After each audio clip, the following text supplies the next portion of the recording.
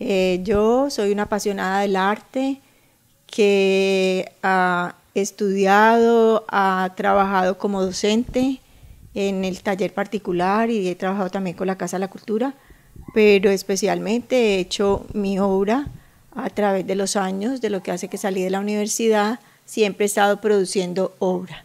Me gusta mucho el trabajo de técnicas mixtas, eh, de texturas. Mis obras son ensamblajes. Me gusta ensamblar piezas y esta exposición que estoy haciendo ahorita se llama Irradiando Soles. Bien, precisamente sobre yo le iba a preguntar. Irradiando Soles eh, ya lleva algunas semanas en la casa del virrey en la ciudad de Cartago. Hablemos sobre, sobre esta exposición específicamente. Muy feliz con la acogida que le han dado a mi obra. La exposición ha sido muy visitada. Muchas gracias a la Alcaldía Municipal por el apoyo, al Centro de Historia y a la Casa de la Cultura por estar mostrando arte en nuestra ciudad. Eso es Cartago, la cuna del talento.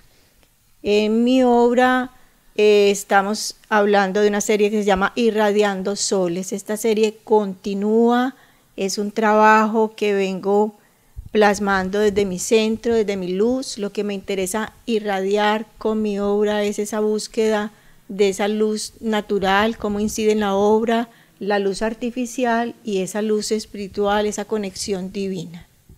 Bien, ¿ha tenido la posibilidad de exponer quizás en otras ciudades del país? Sí, he expuesto en otras ciudades, en Cali, en Bogotá, en Pereira y hemos también hecho exposiciones a nivel internacional. Esta exposición Irradiando Soles es, es una obra que le demandó cuánto tiempo aproximadamente. Esta obra mm, muy pronto la hice. Yo misma me quedo aterrada. Solo hay dos obras que fueron del año pasado, de finales del año, y Toda la obra se ejecutó de enero a junio. ¿A qué horas bajan las musas de la inspiración? ¿En la mañana, en la tarde, en la noche o no hay hora específica? Las musas no bajan. Las musas hay que encontrarlas desde tu sentir, desde tu percepción y a veces te llega la idea a la mente. Por eso siempre tengo una libretica donde voy consignando porque tú estás haciendo una obra y en el proceso te surgen inquietudes o tú tienes un boceto ya, pero la obra va cambiando a medida que la vas ejecutando y necesitas encontrar una solución para plasmar algo que tú quieres que tu interlocutor lea en tu trabajo. Entonces esas, esas ideas hay que consignarlas porque se escapan fácilmente. Muy bien. Eh, maestra, y hagámosle la invitación a los cartagüeños, a los habitantes del norte del valle, a los visitantes en general, para que disfruten de su obra. ¿Hasta cuándo está allí en la Casa del Virrey?